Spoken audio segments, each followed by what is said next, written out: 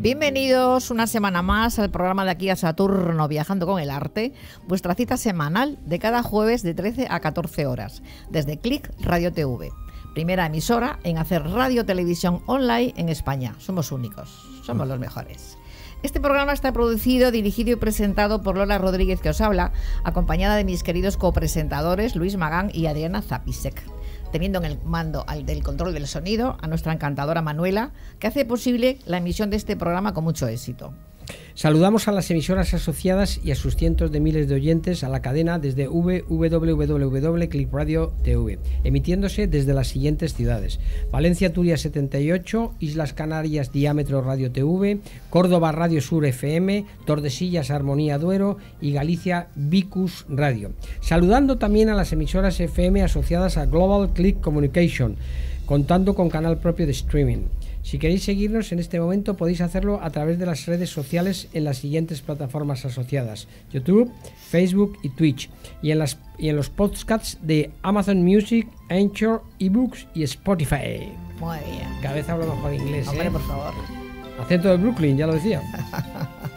Hoy contamos con unos invitados muy, muy interesantes de distintas teclas del mundo del arte, que es lo que nos gusta siempre a nosotros, a los que agradecemos su presencia. Manuel Barbero, bienvenido, Manuel.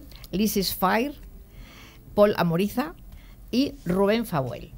Eh, antes de continuar, queremos deciros que una de las eh, eh, premisas de nuestro programa es que no le preguntamos a nadie por su vida privada. No es que no nos interese, pero no es, el, programa. Entonces, lo que sí nos gusta es que nos cuenten una anécdota eh, que les haya ocurrido en su caminar por el mundo del arte, que sea contable por el horario.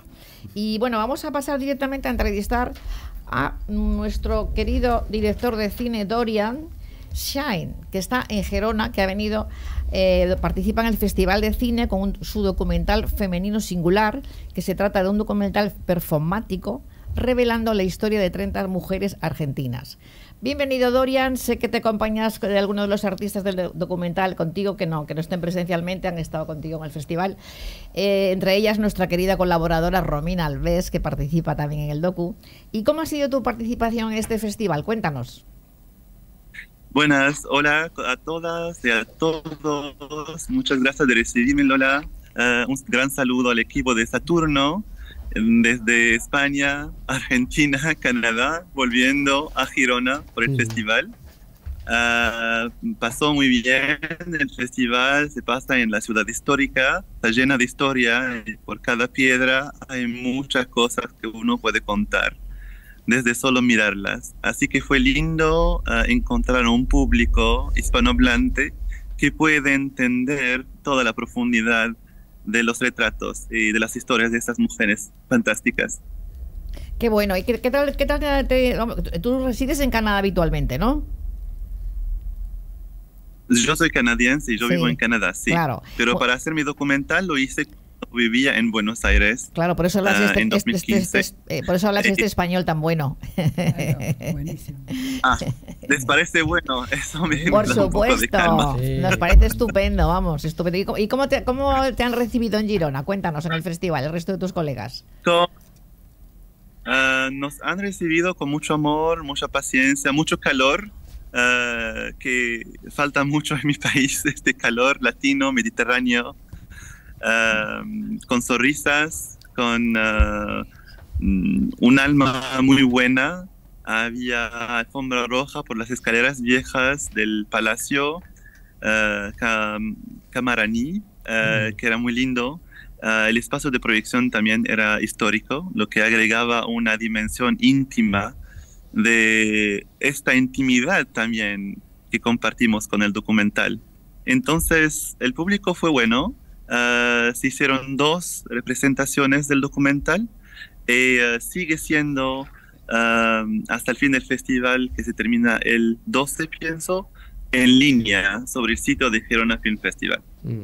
Dorian, oye, ¿qué es lo que cuentas en femenino singular? Bueno, o qué es lo que cuentan las mujeres, las 30 mujeres argentinas que participan bajo tu dirección en el documental? Se trata de saber lo que es o lo que se hace o cómo se exprima una singularidad que hace de cada persona lo que es, algo propio, una memoria personal, desde la infancia, niñez, una representación personal del mundo, del cuerpo, de las relaciones con los demás, se trata de saber cómo cada mujer, cómo se articulan los ojos de cada mujer hacia sí y hacia el mundo. Entonces es más una búsqueda de los detalles íntimos que uno puede compartir con la gente que ama a un momento muy, muy simpático. se trató de esto y la cámara y el micrófono eran solo herramientas para guardar este momento de intimidad. ¿Las mujeres las elegiste tú específicamente, las, las, participantes?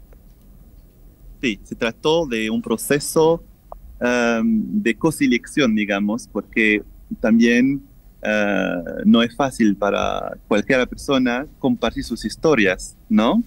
Y entonces se trataba también de abrirme desde mí para poder atraerlas a compartir eh, de manera simpática eh, en un proceso cuidadoso, de sentirse en seguridad, de, crear un, un, espacio en donde esta intimidad se fluye con el arte. Y el arte performance facilitó, digamos, este intercambio y esta negociación de identidades entre la suya de mujer y entre la mía, desde ojo extranjero a ellas, y también desde alma y corazón que los quiere abrazar.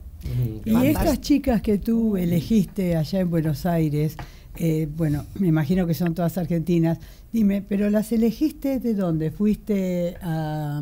O sea, ¿son del pueblo? ¿Son actrices? Eh, ¿De dónde son estas, estas chicas elegidas por ti?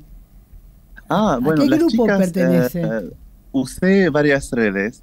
Mi red personal, entonces, amigas que yo conocí, primero, era esto. Entonces, mis amigas son actrices, performers, bailarinas, profesoras, ah. doctoras, psicólogas.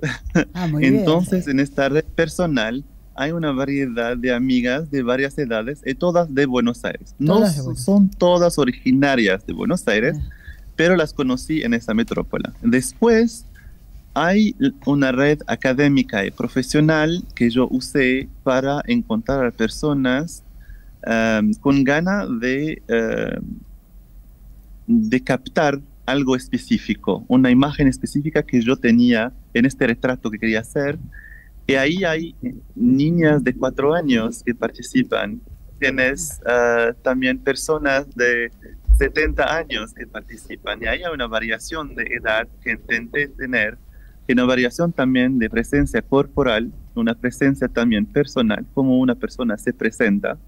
De, también de trabajos. Hay una mujer que hace zapatos. Y vamos, ¿por qué hace zapatos? Hay una mujer que trabaja por la palabra. ¿Y por qué la palabra? Otra mujer se interesa mucho al cuerpo y sabemos por qué se interesa al cuerpo. Y también hay otra mujer que eh, se dedicó a Jesús y a, vivir en comunidad. Era interesante entender de dónde vino esta llamada a lo espiritual, la dimensión espiritual en su vida. Hay una variedad. Entonces, personal, académica, profesional, y después hubo redes personales o sobre todo para encontrar esta persona última, por ejemplo. Bueno, Dorian, estamos súper encantados de tenerte con nosotros, pero sabes que en la radio el tiempo vuela, se nos acaba el tiempo. Eh, te emplazamos a que cuando eh, tu próxima visita a Madrid vengas a visitarnos al estudio y a través de Romina estaremos al tanto de, pues, de la película, de, de la alfombra roja y todas esas maravillas y ese disfrute que habéis tenido estos días en Girona. Así que muchísimas gracias por estar con nosotros y que sea todo un éxito. Nos vemos pronto. Chao. Muchos éxitos. Dorian, gracias. Oye, yo me ofrezco para masculino plural, ¿eh? Cuando vengas a Madrid y hagas un documental sobre hombres, yo me ofrezco. Venga, muchísimas gracias. Chao. Gracias a ustedes. Justamente mi próximo proyecto, que es el masculino. Ah, fantástico, fantástico, fantástico. Eh, muchísimas gracias, de verdad. Eh, Luis, que el tiempo vuela. Te, eh, pasas tu entrevistar. Sí, sí, sí, Bueno, buenos, buenos días, radio oyentes. y gracias a todos los presentes, a todos nuestros invitados que enriquecéis este programa y sobre todo enriquecéis las, el interés de nuestros radioescuchas por, por el arte y la cultura. Tenemos la, suerte de contar con, en el estudio con Rubén Fauel Calvo, que a mí para mí ha sido un auténtico descubrimiento. Eh, un, auténtico descubrimiento doble. Bueno, uno algo que ya conocía, pero que ha vuelto a, redescubrirlo, que es el lugar donde está mostrando su primera exposición en Madrid y a él mismo como artista, como un artista eh, realmente formidable.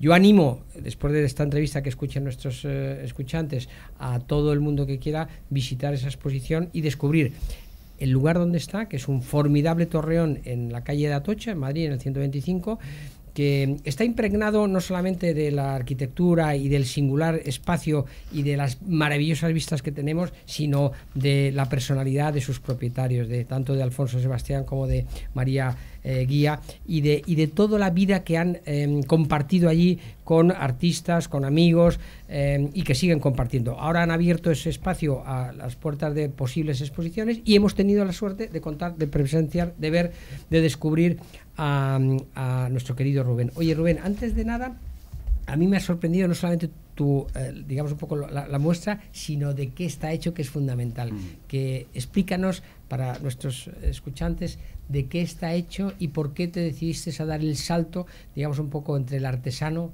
y el artista en el que te has convertido. Perfecto. Bueno, buenos días lo primero y agradeceros eh, sacarme de mi cuevita, que es donde me siento cómodo con, con, mi artesanía y mi arte, para explicar un poco esta técnica que es cierto que aquí en España no es conocida o prácticamente es desconocida. Sin embargo, en, en Europa y en el resto del mundo la verdad que es bastante más, más común verla en sitios de, alta decoración. Yo la conocí de casualidad. Eh, nosotros visitamos mucha feria de antigüedades y, de arte y pasamos un día por al lado de un mueble que me llamó muchísimo la atención por el brillo que tenía y cómo cambiaba según ibas andando, iba cambiando el mueble y tuve que entrar y preguntar qué era eso, que yo tampoco lo había visto y, nada, me lo explicaron, eh, que es marquetería de paja de centeno, es un material eh, muy humilde en su, su, nacimiento, pero cómo se puede llegar a convertir en, una cosa tan, tan bella. Luego estuve mucho tiempo buscando eh, dónde aprenderlo, pero como comentaba, pues en España es prácticamente imposible, hasta que di con un, un tallercito, una escuela taller en Mansilla de las Mulas, en León, que se llama Nomo Faber, que solo dan técnicas antiguas y, allí me fui, directo mm. de cabeza, a aprender con un maestro taracero y a partir de ahí pues, pues nada, ya luego formación, mucho aprendizaje y, y hacer cositas bueno, hacer cositas, hacer cosas, porque realmente sorprenden, fascinan, eh, deslumbran. Yo a mí me quedé eh, realmente, primeramente porque no sabía exactamente de qué estaba hecho eh, y segundo por la apuesta, digamos, artística que tenía, que son, es, muy es, cautivador. La, exposición es cautivadora por lo que os digo, no solamente por el espacio, que es un descubrimiento, es como llegar a un, a un lugar recóndito y, tremendamente acogedor, sobre todo por sus propietarios, y luego descubrir de pronto fascinando, fascinada esa, esas imágenes imágenes que, de la exposición que, nos acompaña. Oye, ¿un artista puede vivir de la paja? Uy. Claro. Se uy, en Argentina. Claro, esperemos que sí. Esperemos que sí. Yo llevo, vivo, vamos, he nacido en una familia de artesanos de toda la vida, de cuarta generación. Eh, cuarta generación ya. Mi bisabuelo era tornero, tenían un taller aquí en la calle Oliz, eh, detrás del cine Proyecciones mi abuelo era tornero, mi padre modelista, entonces llevan toda la vida viviendo de su trabajo manual y, y ¿por qué no? Pues eh, yo lo sigo intentando y de momento va, va la cosa bien. Se puede, se puede. Oye, y en el mundo en el que vivimos, un mundo virtual, en donde tenemos ya incluso inteligencia artificial, que nos está creando muchos temores y sobre todo en, en, los espacios de los artistas y de los creadores, eh, ¿cómo se maneja un material tan... tan tan antiguo, tan eterno, tan, y tan delicado, Luis, de manejar como la paja. es muy, muy delicado, sí. es casi tan delicado más que el pan de oro, ¿a que sí? Es muy delicado. Mucho. Mm, sí, porque el pan de oro al final tiene más posibilidades eh, de corrección. sí, sí, sí. La paja no. La paja es un material sumamente fino, hay que tratarlo con mucho mimo, mucho cariño, pero, pero bueno, luego el resultado que da con ese cariño es espectacular lo bonito que es, eh, en cuanto al tema virtual, claro, es muy difícil valorar eh, este tipo de marquetería, no como la marquetería de madera u otras técnicas, si no las ves en persona. Por eso yo estoy agradecidísimo a, Guía y Alfonso de darme este espacio maravilloso en el Torreón, porque además la luz que tiene es, fabulosa y puedes ver todos los reflejos naturales que tiene la paja por su sílice natural, que es, lo que brilla, eh, y, el movimiento que dan en cada, a cada paso. ¿Tú harías este tipo de arte, lo podrías hacer con otro tipo de material? Eh, a ver, hay marqueterías de madera muy bonitas, eh, yo las llevo viendo toda la vida por mi familia, pero no he encontrado un material que refleje tan bien la luz como la paja de centeno. La verdad. Eh, y en España hay buena, en España hay buena paja, o sea, que decir, es, es, de calidad, es, es una. Yo, yo, la siembro, tengo ¿Ah, siembro y recojo. O sea, de denominación de origen. Qué bueno. Es de denominación de origen de, Madrid, de Rubén. En Torrijos, en una tierra de Torrijos. Sí, precioso pueblo, sí, maravilloso pueblo. ah, qué bueno. Con personajes muy reconocidos a lo largo de su historia. qué bien. Pues ahí recojo, siempre recojo la paja natural eh, luego sí es cierto que la paja ya teñida eh, se compra en Francia, porque no hay otro sitio en el mundo donde se, se cultive la ah. paja para esto. Em, y, es así que la importo. Tiene una paleta de colores espectacular. Eh, Jalou Rodot se llama el, hombre que la cultiva, tiene hectáreas exclusivas para Qué, paja, qué interesante, ¿no? Qué belleza, para fotografiarlo incluso, ¿no? Para fotografiarlo. ¿En qué zona está de Francia, perdóname? Pues creo que está hacia el sur, pero no sé ahora mismo eh, dónde. Porque Le buscaremos. sí, ah, ya no sí.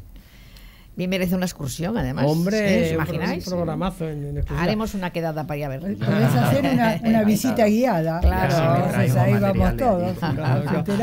¿Esta es tu primera exposición? Es mi primera exposición. Y no la última, lógicamente. Esperemos, sí. Eh, yo creo que no.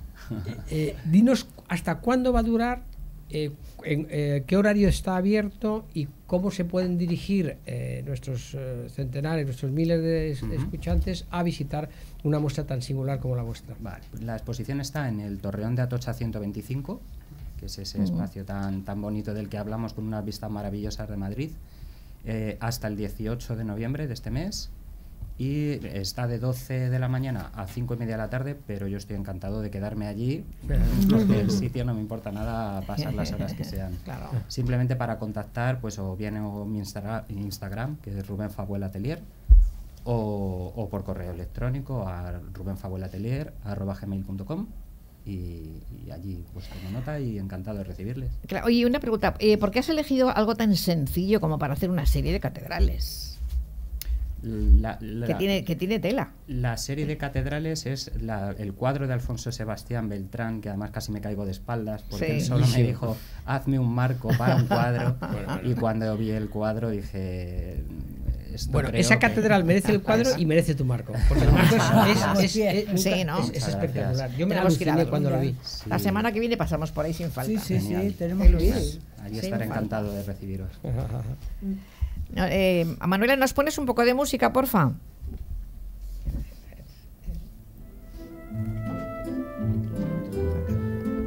Y nos pasas el vídeo de Manuel Barrero, por favor.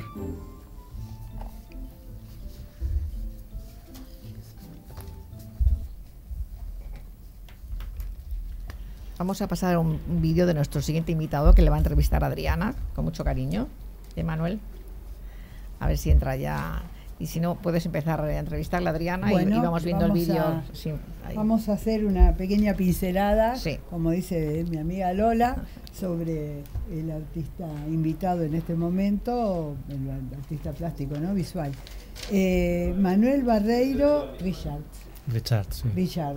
Eh, nació en Murcia, es doctor en Bellas Artes, compagina la docencia con el dibujo y la pintura ha sido profesor en la Facultad de Bellas Artes de Cuenca y actualmente lo es en la Universidad Complutense de Madrid. Su obra plástica abarca distintos temas como la naturaleza, el tiempo, el territorio o el caos. Muchas de sus propuestas están encaminadas a poner precisamente orden en el caos, tarea que ya ha asumido como imposible, pero que sigue intentando. Para ello utiliza técnicas y materiales muy diferentes creando pequeños cosmos desde donde la literatura, la poesía y en muchos casos el humor actúan como un pegamento invisible que cohesiona las piezas de sus exposiciones. En sus trabajos, pintura, instalaciones, esculturas y dibujos conviven y se interrelacionan. En este momento, Manuel está exponiendo en la Galería Blanca Soto una expo que se llama es por aquí, que es las cartografías para una escapatoria cuando el futuro sea presente. O sea, ¿cómo, cómo surgió este nombre? De, para, esta, para esta exposición tan conceptual eh, qué significa. Bueno, lo primero, muchas gracias por invitarme. Estoy encantado de estar aquí y además con todos los, compañeros que también van a ser entrevistados. Bueno, pues eh, cada vez que uno tiene frente a sí una nueva, un nuevo proyecto, en este caso una exposición, eh, revisa un poco todo el trabajo anterior y de alguna manera se plantea qué hacer pues, eh, en ese nuevo horizonte que se le abre. ¿no? Entonces, en esas reflexiones que yo estuve haciendo, que, están muy vinculadas al, momento, a, las emociones que uno siente, pues estaba un poco desconcertado por, el, presente en sí mismo. Y eh, el título viene, eh, el es por aquí, está vinculado también con una reflexión sobre ciertas películas de ciencia ficción que cuando uno es pequeño proyecta como en un futuro casi inalcanzable y que en esa reflexión que hacía antes respecto al proyecto, pues sentí que había llegado ya. Y, ese futuro que había llegado no me resultaba lo suficientemente atractivo. Es más, me, resultaba incluso inquietante. Entonces pensé, ¿cómo puedo escapar de ese futuro? Y, y, me planteé una serie de cartografías en las que el propio proceso ya era cartográfico, ya me suponía una escapatoria, pero, es decir, eh, la, la, cartografía tiene una lectura eh, un poco constructiva, el momento que se está haciendo, pero también tiene una lectura a posteriori, es decir, el uso que se le puede dar al mapa, ¿no?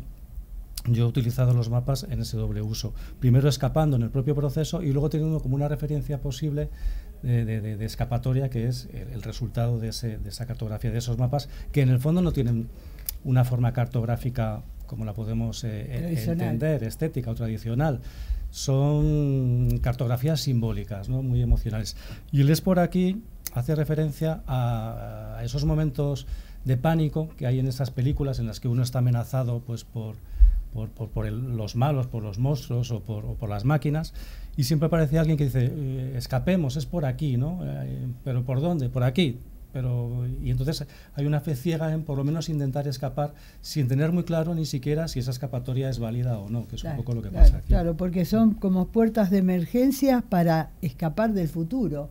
Eso es, este, suena suena heavy, suena contundente. Sí, ¿no? sobre todo si pensamos eh, que, que, el futuro ya es presente, es decir, para escapar del presente sí, en realidad. Siempre, siempre. Lo que estamos pensando ya, es, ya, ya, pasa a ser pasado. Lo que estamos hablando ahora en este momento ya, sí. ya, ya, ya, fue. Lo que pasa es que yo creo que hay como dos tipos de futuro, ¿no? Uno más... Eh, determinado. Sí, o más puntual, ¿no? Pues por ejemplo, hace unos días yo sabía que iba a venir aquí y eso ya ha sucedido, estoy aquí, ha llegado ese presente. perdón, pero hay unos momentos en que el futuro es como más Abierto. de conjunto, es decir, bueno. que te planteas dónde estoy, a dónde sí. he llegado, ¿no? He llegado, estoy aquí en el presente, qué recorrido he hecho y qué lecturas hago del dónde me encuentro, ¿no? Este futuro que ya es presente en un sentido más, pues, eh, metafísico casi, ¿no? Claro, porque también tenemos que pensar que el futuro, o sea, puede ser determini de, ya este estar eh, determinismo o si no por un tema de, un libre albedrío, ¿no es cierto? O sea, podríamos también entrar a, a fabular sobre sobre esos esos caminos que son tan inquietantes, ¿no? Porque realmente a uno lo, lo, lo conmociona pensar si el futuro es este es libre eh, si lo provocamos nosotros o si ya está determinado no o sea eso en tu en tu muestra es como que estas estas puertas de emergencias para escapar del futuro es como que estás abriendo posibilidades de de, de, de, salva, de salvamento que lo que estabas diciendo recién no las puertas del éxito. Sí son un poco complementos. A ver todos pasamos por bueno incluso un propio mapa es un territorio de subidas y de bajadas, de montañas altas y de, superficies por debajo de, del mar. ¿no? Entonces nuestra vida es un ciclo de subidas y, bajadas en las que a veces uno pues eh, asume el momento pues eh, rebelándose contra él. ¿no? Y, bueno, pues estos mapas pueden ser una ayuda eh, en el sentido de evasión, porque al final uh -huh. yo creo que todo lo artístico es algo que nos, que, nos, que nos invita a una cierta evasión de la realidad, ¿no? del momento. Y, y, sí, efectivamente, estos, este, estos mapas simbólicos, estas cartografías simbólicos pueden ser una herramienta para que quien de alguna manera conecte con ellos, pues aunque solo sea durante un espacio de tiempo pequeño, pero consiga evadirse de su, de su realidad y traspasar a la otra realidad que es la realidad del arte. ¿no? Y ah, también hay otro, hay una parte muy interesante que dice en, en, en, otra obra donde la idea de que las cosas nacen desde el deseo de ser encontradas. Esto es, este, es, para pensarlo, ¿no? Porque realmente es, es, muy profundo el tema, ¿no? O sea, ¿cómo nacen? ¿Nacen per se o porque nosotros las vamos este, imaginando y, y las vamos elucubrando y hacemos ayudamos para que se produzcan o nacen así, espontáneamente. Como, eso creo que. Eso es filosofía pura ya. Eso, eso, ya es para otro programa, Adriana. Eso es filosofía pura para otro programa. Es complicado. ¿Qué nivel estamos alcanzando? Perdonar. Es verdad que es difícil porque además es filosofar, hay muchas cosas ahí. Y, bueno, filosofía además muy de interpretación, es decir, lo que yo puedo pensar, lo que podemos pensar todos. Pero bueno, sí, yo, yo siempre estoy un poco en búsqueda y, siempre tengo el anhelo del encuentro de algo. Hay veces que uno dirige la búsqueda hacia algo muy concreto, como quiero encontrar esto, pues cuando era pequeño buscaba fósiles y, en, el, campo y digo, quiero encontrar algún fósil. Y hay veces que se produce un hallazgo, estás buscando fósiles y aparece otra cosa que te seduce más y, te fijas en ella. No sé, yo creo que, que, la vida al final es un descubrimiento constante donde uno busca, encuentra o, y, y, dime, ¿y la relación de tu, de tu muestra, de tu última muestra, que era de alfileres y todo esto, con, con esta, que hasta tenemos un, una barca con un rinoceronte arriba, ¿cómo, cómo, cómo, la relacionas? Sí, es un poco lo que decía al principio, ¿no? que se abren y se cierran ciclos cada vez que empieza un nuevo proyecto. Eh, la exposición anterior, que era sobre alfileres y pipas, en realidad también trabajaba un poco con la simbología y con el concepto, ¿no? pero siempre muy agarrado a la parte estética, es decir, no es una obra netamente conceptual. De hecho, muchas veces utilizo literatura que a veces puede incluso entrar en conflicto con lo, con lo conceptual si uno se, se, se, mueve por parámetros como más, más cerrados, más estrictos, ¿no? parece que son como incompatibles. Entonces, en las alfileres y pipas hacía una reflexión sobre el ensimismamiento, ¿no? sobre ese momento que eh, mágico en el que uno de repente se abstrae de la realidad, ¿ves? volvemos otra vez a la abstracción, un poco a escapar de nuestra realidad. y, lo asociaba, pues, eh, pues, por ejemplo, las pipas, cuando, el hecho de comer pipas, que cuando uno está comiendo pipas llega un momento que, que, que, empieza a pensar en otras cosas y parece que pierde conexión con la realidad. Y las, los alfileres me recordaban estrellas fugaces en el cielo, que, que también es otra de las, eh, termino ya, que es otra de las de, de, los posibles ensimismamientos. Cuando uno mira al cielo buscando estrellas fugaces, hay un momento en que no aparece ninguna y entras también en un estado pues de reflexión. y está vinculado con las cartografías, que son también momentos de reflexión. Fantástico. Bueno, la verdad que, que eh, tenemos que invitar a, todo el y, hay que, ir a verla. que venga a verla, porque este, realmente es, una, es muy importante y es, y es para pensar. Merece la pena. ¿Dónde, ¿Dónde ¿Y hasta cuándo? Pues está en la Galería Blanca Soto, que está justo en el barrio de las Letras, detrás de Caixa Forum, la calle Almadén. Está hasta el 9 de, de diciembre, con lo cual tenemos, un mesecito por delante. Perfecto. y, os invito a, verla porque, bueno. un mes justo, hoy, día 9 hasta el día 9. Oye, permíteme una pregunta. Tú que decías que, digamos, un poco la referencia de esas eh, películas de ciencia ficción que viste de pequeñito, ¿viste la naranja mecánica? Ay, qué horror. Qué me salí de la película. así te ha influenciado a ti. Yo, yo en cambio, vi Bambi y vi Doble Tabaturra y, claro, haría otro tipo de exposiciones. Sí, a ver, pero de hecho, cuando eres pequeño te encantan. A ver, la naranja mecánica no es exactamente ciencia ficción. Yo me salí, yo me salí en los 10 minutos. No es para pequeños, la vi más tarde, no me dejaban verla, pero sí que es verdad que lo que hablaba antes, que algunas de esas películas de ciencia ficción 2001, tan seductoras, 2001, del espacio, en fin, eh, pues eso, mientras se mantiene en el territorio de la ciencia ficción, pues resultan muy atractivas y seductoras, pero cuando la ficción se convierte en realidad, mm. cuando en 2001 la máquina ves que ya es una inteligencia artificial que incluso está apropiándose de tu territorio, ¿no? El último reducto, yo creo, del humano, que es lo artístico, la poesía. Pues cuando ya ves que hay inteligencias artificiales que empiezan a suplantarte, todavía de manera incipiente, pero que en cualquier momento serán artistas en sí mismos, ¿no? pues, pues te asusta, claro, quieres escapar de eso, quieres buscar una alternativa, ¿no? Este presente Sí. no es tan bonito como lo veíamos en las películas de ciencia ficción. Perdóname. ¿y la alternativa es el pasado o más futuro? Pues eso es lo que también he tratado un poco en alguna de las cartografías, ¿no? O sea, qué es presente y qué es pasado, ¿no? Por ejemplo, en un mapa. Conforme vas andando, ese recorrido que queda atrás, podríamos decir que es el pasado, pero también es el presente de tu propia acción, ¿no? O sea, yo creo que muchos mapas se construyen integrando los tres elementos, presente, pasado y futuro, ¿no? Es más, nosotros cuando vemos un mapa proyectamos el futuro, de a dónde vamos a ir, nuestro dedo se convierte un poco en, en el, en el en el, en el inductor a un viaje, ¿no? Pues aquí. Íbamos ahí en los mapas de antes, ahora con GPS, Sí, con no, GPS ahora es, no, es no. distinto. Pero Bueno. está muy co- interconexionado, pasado, presente y, y Y futuro. futuro. Como nuestros queridos escuchantes, oyentes y radio tele- televidentes estarán viendo, Emanuel tiene un discurso maravilloso y extraordinario. Y para cerrar la entrevista, porque el tiempo ya sabes que impera siempre, no quiero dejar de decir que has publicado distintos libros y que otro día te invitaremos a que vengas a hablarnos de ellos. ¿Te parece? Perfecto. Vea, muchísimas gracias, Manuel. Manuela, por favor, ponnos música, que vamos a pasar al siguiente invitado ya.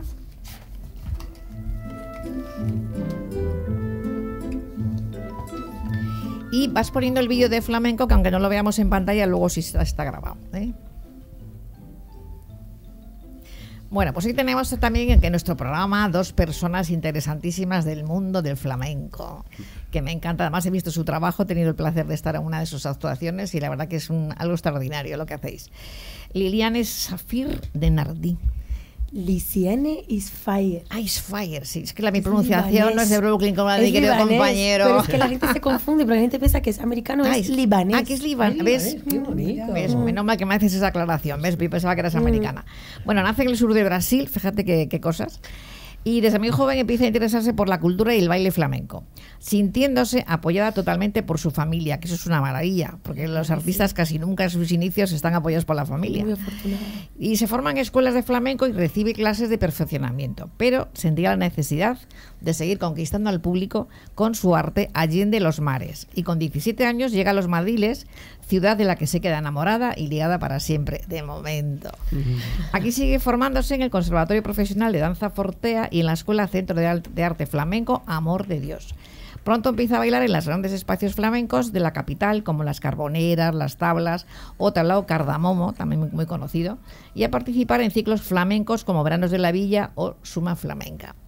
Le acompaña Paul Amuriza, que es el director comercial del Centro Cultural Flamenco Madrid. Muchísimas gracias por invitarnos, Lola, y Click, Click Radio Te- Televisión. A vosotros por estar, por venir. Eh, vamos a ver, eh, el, Centro Cultural, este, para que no lo sepa, está situado en el Conde de Siquena 6, en el barrio de las Saletas, un sitio, Salesas, un sitio maravilloso, donde en su espacio podemos ver las actuaciones en directo de las bailaoros, bailaoras, perdón, guitarristas y cantaores, en una coqueta y privada sala con una capacidad más o menos de 50 personas, sin microfonía ni ampliación de sonido, que eso es muy importante. Además de los espectáculos, el centro cuenta con una interesante programación cultural en torno al flamenco y en el centro se hacen eh, cuentacuentos, presentaciones de libros y de discos, desfiles de moda flamenco, exposiciones de pintura, fotografía, en fin, una maravilla. Chicos, el micrófono es vuestro. Empiezo yo. Empiezo yo. Muchísimas gracias por la invitación. Es un placer estar aquí con todas, todos. Y, mm, y nada, eh, soy la típica bailadora brasileña que vive en Madrid con un pasaporte italiano. Lo típico. y, y la verdad que mm, Madrid es una ciudad que, que me encanta. Llevo aquí 15 años. y llevo un año y medio siendo mm, la propietaria, junto con Pedro Córdoba, que es un bailador flamenco muy conocido, del Centro Cultural Flamenco Madrid, y la directora general, y él hace la directora artística y Paul la dirección comercial. Eh, am, a ver, ¿qué, mm, Sí, ¿Vamos nosotros... decir ping pong? Claro, pong, eh, pong, me parece bien. pong. Hacemos buen equipo. Yo quería hablar de nuestra sala. Sí. Eh, no solo tenemos espectáculos de flamenco, sino que también tenemos una galería con escultura, pintura, fotografía y demás artes plásticas, todas relacionadas con el mundo del flamenco. Nuestra idea, al fin y al cabo, es acercar el flamenco a todo ese público que no le ha llegado, que le parece de otra época o que al final mm, no sé, que piensa que el flamenco no es para él. Y por eso agradeceros esta ventana hacia vuestros oyentes y por supuesto animaros para que vengáis y disfrutéis del flamenco. Tenemos pases de flamencos todos los días de la semana eh, y los viernes, o sea, entre semana tenemos dos pases y los fines de semana tenemos tres pases. Y ahora hemos empezado a hacer unos ciclos nuevos que al final son pues eh, eh, coger artistas que sean mucho más especiales, digamos, artistas de renombre, artistas eh, que no es solo para llenar las salas, sino para introducir a gente que está dentro del flamenco, pero también a gente, pues digamos, española que quiere disfrutar de ello, pero que no encuentra el sitio. Ah, al final el centro cultural viene de mm, una dirección de dos artistas que creo que es gran diferencial de, de otros y mira que yo bailé en todos, casi todos, en Madrid, que mm, la sala es muy pequeña, tenemos 54 butacas, tenemos cuatro artistas en escena, baile, guitarra y cante y busca esa esencia. No es un espectáculo para Es muy- comercial. Es un espectáculo bastante mm, flamenco para vivir esa experiencia muy de cerca. Es muy bonito porque al final se siente mucho la energía del, del artista con el público. Si el público es un poco frío, prometo que como artista se siente esa, esa frialdad y, y si es, siente esa Claro. explosión de energía, ¿no? Y mm, hace poquito, hace como un mes y medio, hemos hecho la, la prima para la prensa sobre mm, los ciclos flamencos, porque yo creo que después de esa pandemia que hemos vivido, se han cerrado sitios muy importantes del flamenco, por ejemplo, Casapatas, donde, donde se vivía Sí. esa esencia del flamenco para los aficionados, para los artistas, para conseguir seguir alimentándose de ese arte, ¿no? Entonces, el ciclo em- empezó el mes pasado. Es un ciclo de mm, cada mes viene una guitarra, el otro mes viene un cante, el otro mes viene un baile. Se llama Ciclos de Arte Flamenco. Y vamos cambiando por trimestre. El próximo será el día 16. Sí. Hombre, Empezamos con Geray Cortés, que la verdad que es una revelación de la guitarra flamenca. Es muy joven. Y ha trabajado con, los, con Rocío Molina, con Farruquito, con Tangana, que está haciendo un proyecto ahora. Tiene un proyecto suyo también. Y el próximo que viene es una eminencia del cante flamenco que se llama Enrique el Extremeño, Hombre. acompañado de su hijo, el ñoño. Sí. Ahí es donde mm, para es muy complicado ver al, al Enrique en un sitio donde caben 54 personas. Sí. Es muy complicado, es muy difícil que haga un recital para tan pocas personas y para mí es una eminencia del flamenco. Para un mí gran es- privilegio que lo haga en vuestra sala. Para mí claro. que venga a, nuestro, a nuestra Claro, sala es Dios, sí, una locura. O sea, impresionante. digo así, de Sí. confianza, de locura, es igual. Sí. No voy a mentir, no me voy a poner, no, no, no es como. Sí. Sí, y, Estamos mm, nerviosos, sí. Estamos muy felices y muy nerviosos. Es el día 16 a las 22 y 30 y seguimos con lo mismo. El centro tiene como parte principal de ser un muy íntimo, que es muy íntimo. La gente va a consumir flamenco. No hay ni bebida, ni comida, no hay nada que la, la persona se siente en la butaca y lo único que puede hacer es mirar y Eso me llamó- vivirlo eso me llamó la al atención. 100%. Sí, eso me llamó la atención Sí, porque son es una forma de 50 minutos, son el- 50 Claro. minutos, entre 50 y 60 minutos que lo único que puedo hacer o es grabar un vídeo Sí. o, o verlo, ¿no? Verlo. O y estar disfrutando plenamente porque no te distraes ni con la comida ni No, con la no, bebida, no. sino estás a lo que estás. Por eso digo que, que crea esa esfera de Sí, íntima. íntima y es muy cercano. Por eso digo que el público influye muchísimo al artista y el tablao al final es, es un arte viva, ¿no? Lo que pasa en un, en un espectáculo, que llamamos pases, ¿no? O sea, Sí. es único porque es 90% improvisación todo el rato de todo el mundo. El espectáculo no está montado. Se cambian los artistas a cada semana o a cada día. A lo mejor viene una persona que no conoces y le dices, buenas tardes, solea por bolería, solea, bolería por solea, perdón. Y claro, es un lenguaje muy universal para lo que sabemos hacerlo, ¿no? Y lo que a mí me gusta es que es eso, que por más que tú no conozcas a la persona, con ese lenguaje universal del, del flamenco se consigue hacer un espectáculo improvisado y que sea de calidad extrema. Oye, Lisiane, ¿y tú bailas algún día? eh, en Todo. alguna de esas? Lo baila todo. No, ya, Yo- pero aparte Ah, de qué bailar todo, actúas. Quiere Sí, decir que actúas sí, sí. algún día Yo- en concreto. Yo estoy casi todos los días del, del año, Ah, por no decir. Pedro Córdoba, que si no conocéis es, es mi socio, es el director artístico. Él se encarga de la calidad artística. Y la verdad que no podía confiar en nadie mejor, porque como veis, o sea, la, la plantilla de artista para los espectáculos de la tarde mm, lleva nombre de Lucía La Piñona, Nino de los Reyes, Isaac de los Reyes, lleva Juañares, que está ahí, Juañares Carrasco, que ha ido con los más grandes también. Pino Losada, que acaba de ganar el premio del Festival de Jerez, o sea que al final es una calidad artística bastante alta. Y, y creo que eso es el gran diferencial. Sí, a mí me gustaría volver a recalcar Sí. eh, nuestro espacio íntimo y cercano. Cercano con los artistas hasta el punto que los de la primera fila en algún pase con el mantón o, Ah, ¿no? o con la bata de cola que les pasa, Le pasa por los la flecos. Sí. Yo doy fe porque estaba en primera fila y con los flecos así. Pues mira, el otro día me enganché el fleco en el bolso de una. Ah, Es, bueno. eh, es muy cercano, por lo que decimos. ¿Y lo soltaste o qué, qué pasó? Claro, ella es muy delicada. Y digo, bueno, si lo suelta, bien. Y si no, pues dejo el montón ahí un Claro. rato. En algún giro así rápido salen volando flores y En la horquillas. de alguien, a un guitarrista. Claro. Eso pasa un montón. Y de íntimo también os diría que muchas veces cuando, vamos, solo tiene tres filas porque son 50 butacas, ¿no? Sí. Eh, el taconeo de verdad que se nota en el tórax, o sea, Sí, es que sí, está sí, muy sí. cerca y sin microfonía. en Sí. El micrófono, el micrófono, claro, es que no existe.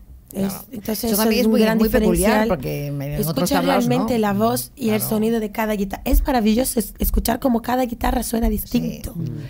Y otra cosa que quería dar una énfasis también Sí, es sí. que tenemos nuestra directora de, de arte, que se llama Belén de la Quintana. Así que es Ella es bailadora, sí. diseñadora, eh, madre de tres Sí. hijos, eh, hace de todo, no para. Pero bueno, tiene sus... Se ha puesto ahora en marcha un proyecto que son chaquetillas. Sí, unas toreras unas maravillosas. toreras que sí. son maravillosas, no es solo para bailar. Yo he dicho, por favor, Belén, la- me quiero ir por la calle con ella, por favor, Claro. qué maravilla. Así que si queréis pasar por el Centro Cultural Flamenco Madrid, también vais a encontrar esa maravilla de... Y es cada una distinta, no se repite patrones. Sí, todas cosidas a manos, Mm. con tejidos naturales, diseñadas por ella, por Belén. Conde Chiquena. Número 6. Seis. Número 6, número 6, Y fantástico. aparte de las actuaciones en esos horarios que nos habéis comentado, ¿está abierto el centro habitualmente? O sea, Sí. pueden ir a ver las eh, Eh, chaquetillas, por ejemplo. Por supuesto, la galería está abierta de por la mañana de 10 a 2 y luego ya por las tardes abrimos a las 4 y media hasta el final del último pase, que depende del día, pues sea a las 9, a las 8 y media. Pero vamos, la galería es para cualquier interesado en el arte flamenco. Ahí Sí, estamos. sí, sí. Oye, ¿y ese arte flamenco que tú representas también, te lo has llevado también a tu tierra? Es decir, ¿has ido a bailar allí, a Brasil? Sí, la verdad que he tenido la suerte justo de ir ahora, en septiembre, en octubre. Anda, Ah, qué bien. No hace Mm, nada. No hace nada. Y he ido a un festival que se llama Inmersión Flamenca, es un festival grande que hay en Brasil. Y la verdad que es maravilloso saber. Es muy bonito volver a tu tierra, ¿no? Y que te valoren de una forma Sí, muy bonita. Es muy Eso es- difícil también que te valoren Sí, en tu tierra. sí. ¿no? Sí. La verdad que sí, pero Sí, sí. no sé.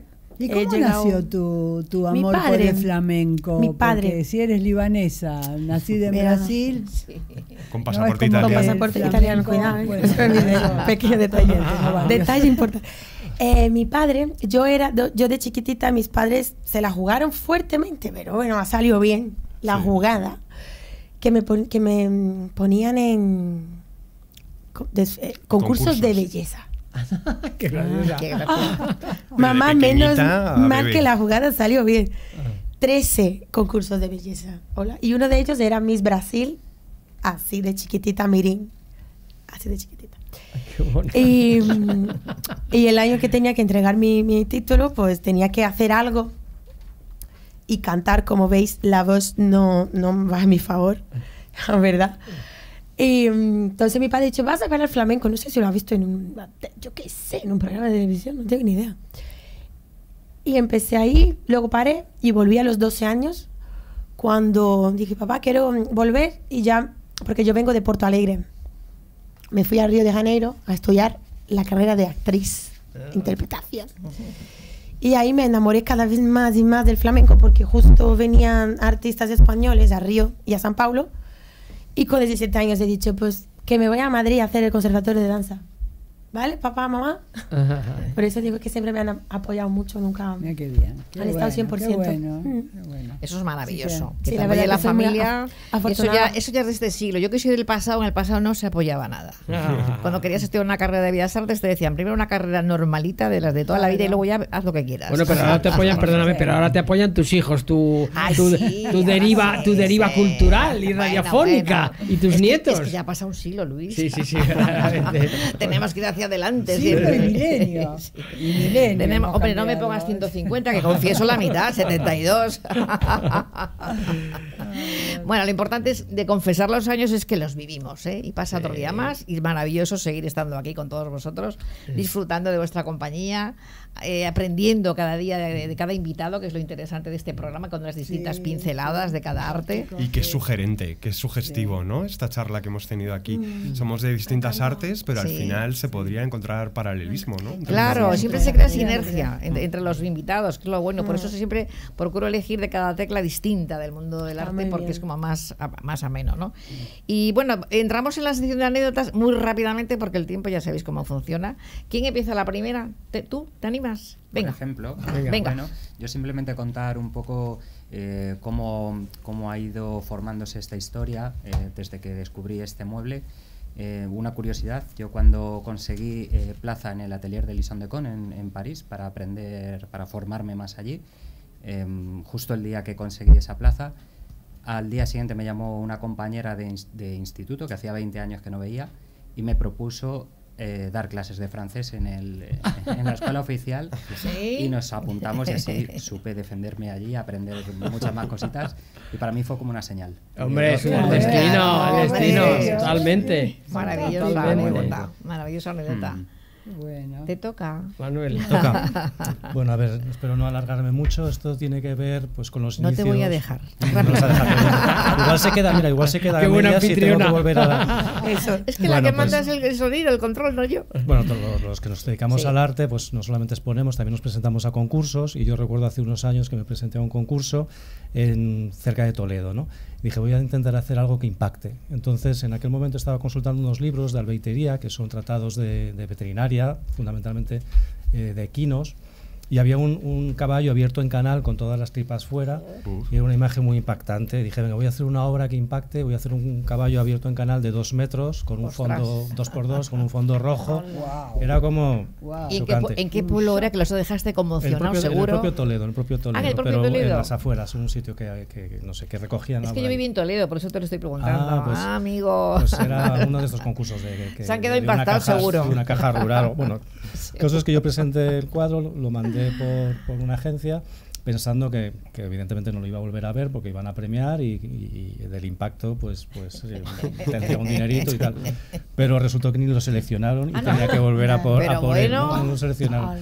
y, y claro económicamente para un artista Claro, tal, era un- sí. o sea, el 99% de los artistas que se presentan a concursos pierden dinero porque Siempre. solo gana uno Sí. el caso es que dije, bueno, pues no puedo pagar un transportista, cogí un coche con una vaca, el coche que tenía, que era un coche pequeño con mi vaca, y me fui para allá. Entonces lo monté, lo até muy bien porque me daba muchísimo miedo que se volara. Y entonces en el trayecto yo ya notaba un poco como que era casi una especie de ala delta, porque el coche mismo cogía con el viento y en una de esas escucho ¡ruan! Miro por el retrovisor y veo un caballo volando. un caballo destripado volando que cae en mitad de la autovía. No pasaba prácticamente nada, pero venía un, un coche detrás. Bajé corriendo. ¿Os ha pasado algo tal? No, no, no, no. Y siguieron. Entonces me vi en mitad de la autovía con un cuadro 2x2. Y digo, voy a intentar ponerlo en el coche, pero resulta que se había arrancado la vaca. No podía hacer nada. mía, claro, del y entonces viento. no pasaba nadie, pero veo pasar la Guardia Civil. Y entonces eh, vi pasar la Guardia Civil muy lentamente y vi pasar mi vida también muy lentamente. A pasar los siguientes años en la sombra, porque delito, pues no sé, exhibición de maltrato varios. animal. Eh, La seguridad me quitan el carnet por, por Exceso de medida en la vaca también. digo, homicidio involuntario imprudente porque casi más total. Entonces, nada, veo el coche y digo, bueno, he perdido aquí todo. Y entonces el coche pasó muy lentamente, la Guardia Civil, la carretera sola, yo con un cuadro 2x2 de un caballo destripado en mitad de la nada, y veo pasar la Guardia Civil por delante, por delante, por delante, por delante, que se va. Y entonces ese día recuperé la fe en Dios porque pensaba, No me extraña. me has dado una, una segunda oportunidad y claro, no podía hacer otra cosa que tiré el cuadro a- a- al campo. Que imagino que alguien de Toledo, de esa zona Ah, tal, mira. iría con el tractor y al día siguiente diría, pero ¿qué hace este ¿Pero qué cuadro hace? de un caballo destripado aquí en Queremos la saber nada?". el propietario, quién lo tiene. ¿Quién lo tiene? Bueno, eso es una Entrevistarle. anécdota. Maravilloso. Venga, chicos, vosotros. Dale, dale. Elise. Bueno, yo tengo, yo creo que puedo tener una al día. Bueno, Porque claro, con claro. los pases de fla- te, cada, te juro Sí, que sí, cada sí. día dices tú, ¿cómo? Pero tengo una que es mi primera caída en el escenario. Ay. y la única. Espero. Gracias a Dios. Sí. Que eh, en los teatros antiguos tiene la inclinación, ¿no? Esa inclinación que para bailar es de entre mal y regular. Sí. Es como Complicado. Y tenía a los músicos en un lateral, tengo al público aquí, tenía unos músicos aquí y yo bailando, y claro. Y fui a hacer un giro, y me- pero fui como cayendo, a como, como cayendo así, En cámara lenta. pero en cámara lenta, Ah. intentando sujetarme y fui, fui cayendo. El cantador estaba haciendo así, como que no sabía si se quedaba sentado cantando O te iba recogía. a por mí se quedó como una escena así, el otro así, yo cayendo real, o sea, ca- cayéndome, como Ay, un- qué horror. toqué culo al suelo, que digo, no me lo puedo creer que me esté tocando el culo. Y bueno, conseguí rebatar y el, el público aplaudió, sí, porque fue como Es solidario catastrófico. Sí. Igual pensaba que formaba parte del número, ¿eh? que nunca se sabe. sí, sí, pero- También ya me llevé una guitarra con Claro. un montón de la guitarra, Sí. una guitarra de 6.000 euros. Se la arrebataste bailando y, y me la llevé conmigo. Te la llevaste. Ay, Dios. Sí, o sea que no sé, tengo muchas Sí. catastróficas. sí, Oiga. creo en miles. No sé, pues no sé. Paul. Bueno, dos. Ahora siempre tú. hay muchas estupendas. Por la tuya, la tuya. Sí, estaba pensando más de lo que sería eh, los entresijos de un tablao. También. Nosotros cuando nos compran las entradas tenemos puesto pues el típico observaciones, ¿no? Pues por si alguien tiene algún problema y tal. Y hoy por la mañana mismo estábamos viendo los mensajes que nos deja la gente, ¿no? Que va desde el eh, vamos a ir a, a celebrar nuestro 19 aniversario, ¿no? Desde el oye que voy a ir con una silla de ruedas que está un poco hecho para esto y luego también hemos encontrado de todo, en plan, es un es el cumpleaños de mi mujer, cumplimos 56 de casados y queremos que nos que hagáis un muy buen espectáculo. Ya, a mí me sí. gusta cuando ponen y una muy buena mesa y ahí es cuando te das cuenta que no se han enterado a No dónde, va- a dónde No, están yendo. no tenemos No mesas. tenemos mesa. Claro, mesa. Por ejemplo. Bueno. Bueno, pero eso eh, es lo singular de, de vuestro espectáculo, que no hay mesas. No, no, sí, eso claro. es. Entonces estás ahí mega concentrado en el escenario y además te metes, se te mete por las venas eh, Mm. la emoción de- del cante, del baile y de la guitarra, porque la estás viendo ahí. La cercanía, la Sí, cercanía es- es, es- fundamental, es la energía Sí, la que desprende Justo, y nada te interrumpe, no hay Sí, columnas, sí, sí, no hay camareros, nada te puede interrumpir Sí, sí, entre lo que es observar al artista, los espectadores y el escenario con los artistas. Sí, Eso- sí, además tenéis un espacio que lo he visto para la gente que va en silla de ruedas Sí. o que no se puede mover, que eso también Sí. no, está- no es fácil tampoco encontrarlo en otros Mm, sitios, ¿no? pero Con lo cual, sí. nada, desde aquí animamos a todo el mundo a que visiten el Centro Cultural Flamenco, en la calle, Conde de Siquena, Seis. Seis. horario... Estamos abiertos todos los días de 10 a 2 y media, de lunes a viernes. Luego por la tarde tenemos espectáculos de lunes a jueves a las 6 a las 7 y media. Viernes, sábado y domingo, 6, 7 y media y 9. Y para dirigirse a página web. vosotros, para hacer cualquier consulta, que ¿cómo lo pueden hacer? En flamencocultural.com, al final de la página, ahí encontráis eh, el número de contacto. el número de contacto y el correo de contacto que es de entrada arroba flamencocultural.com. Maravilloso, yo creo que todos los... eh, Ah. vamos más... A ver, perdón. Y el jueves que viene tenemos al Enrique el Extremeño a las 22 y 30. Bueno, sería tenéis que hacer doblete, ¿eh? porque Sí. con, con tan poca sí. capacidad que tenéis, no Sí. va a caber todo el mundo que quiere Sí, ir. ojalá, ojalá. Ojalá. Seguro que sí. Seguramente, sí. Luego otra cosa que es muy interesante de vuestro espectáculo, que podéis también ofertarlo en distintos eh, recintos, como pueden ser hoteles de lujo para los, sus invitados, para los clientes. Justo, ¿Eh? estamos empezando a, a montarlo, ya hemos tenido varios shows pues, en restaurantes, en hoteles y, hombre, es verdad que, que un tablao flamenco, que aunque parezca como muy aparatoso, cabe casi en dos metros por dos metros. En una superficie de cuatro metros cuadrados te cabe un guitarra, un cantador y una bailarina y un bailador. O sea que en cualquier restaurante o hotel, realmente en bodas, estamos haciendo shows por todo tipo de espacios. Y como caber caben, eh, nuestro espectáculo es semicrofonía. Hay veces que si el recinto es más grande, pues haría falta, pero a priori para un restaurante, para un hotel o una boda, eh, desde la propia página nuestra podéis ahí contactar con nosotros. Eso es muy interesante. Manuel, tu exposición. Mi exposición, pues nada, lo que he dicho antes, os invito a... ¿Dónde? ¿Dónde? En ¿Cuándo? la ¿Y Galería hasta Blanca cuándo? Soto, Sí. una galería muy, muy agradable en el barrio de las Letras. Eh, una galerista espectacular. Blanca, te saludo desde aquí, aprovecho. Y, y- y hasta el 9 de diciembre, es decir, para los tiempos en los que estamos, un mes por delante, está muy bien. Fenomenal. igual. fenomenal. Y la dirección es la calle Almadén, pero fíjate que no me acuerdo exactamente el número. Si Bueno, digo el Galería 15, Blanca Pero si Soto. está detrás es una calle muy pequeñita y está justo detrás del Caixa Forum. O sea que Fenomenal. no tiene, no tiene pérdida. Rubén. Bueno, pues mi exposición, que está hasta el 18 de noviembre, eh, se ve mm, el Caixa Forum y está muy cerquita de mis otros compañeros, con lo cual es el- en la ruta perfecta. Todos al lado. Puedes Oye, hacer una ruta. Eh, Se puede hacer, la, se Se puede puede hacer, hacer una claro, ruta. Claro. se puede aprovechar y Digo, no claro. Bien, Sí, sí, sí. Multidisciplinar. Correcto. Es en Atocha 125. Os llamo ¿En chicos y vamos a verlas. ¿En dónde? Atocha 125 en Torre, en el Torreón de Atocha. Fenomenal, fenomenal. Y estás encantado con los propietarios, ¿no? Tengo Estoy entendido. con Sí. ellos. Uy, pesadísimos, son pesadísimos. Una absorbiendo conocimiento. Uy, pero No, ¿cómo no, dices no, que eso? son mis pesados? amigos. Ah, ¿sí? No, no, no, Ah. pesadísimos. Bueno, les tenemos a detrás nuestra. Eso. Los propietarios del Torreón han venido a acompañar a su invitado especial en ese magnífico espacio que tiene una vista maravillosa. unos grandes anfitriones, Y ¿eh? son grandes anfitriones y grandes personas. Si no, no estarían aquí con nosotros. y además Alfonso tomando notas, ¿eh? que le he Sí, visto yo ahí por el radio dibujando, dibujando, y- y, dibujando. las dos cosas. sí. pintor. Bueno, ya pasamos a despedirnos, chicos. Entonces, Adriana, si quieres, eh, Luis, empiezas tú.